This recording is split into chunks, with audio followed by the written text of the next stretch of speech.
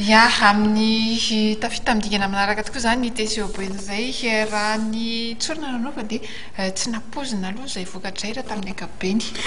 Marina tokoa izany satria raha nilalao tamin'ny, raha ny tetsy Mahamasina aloha namana mbola tiana, dia hita hoe nanindry ihany ary afaka namezivezy ny baolina tsara ihany ny Adema saingy ilay baolina tafiditra mihitsy ny tsy ampy dia tsy afaka nitondra an-dry zareo any amin'ny dingana manaraka.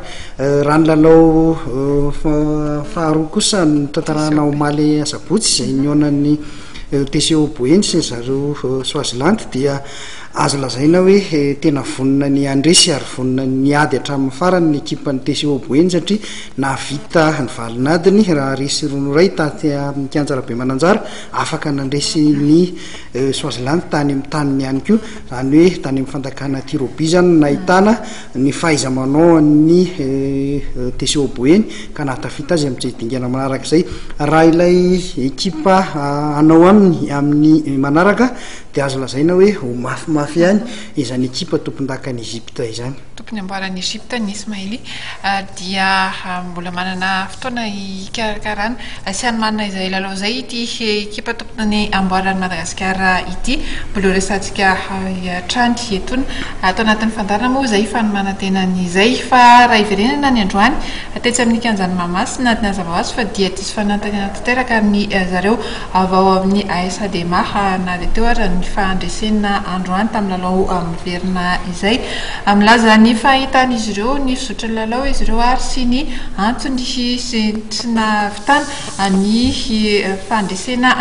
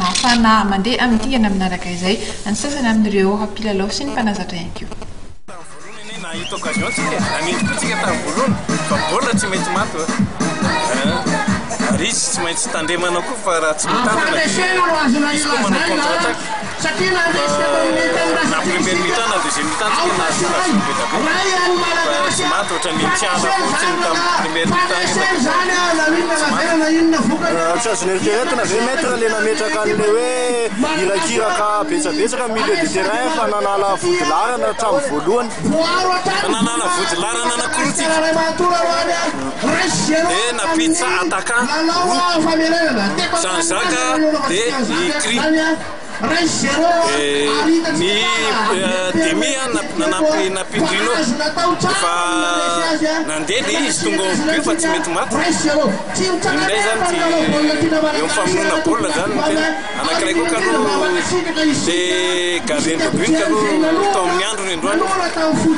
Maître Raro, inona no tsy tonga dia nametrahantsika an'ireny bois kely ireny premier mi-temps?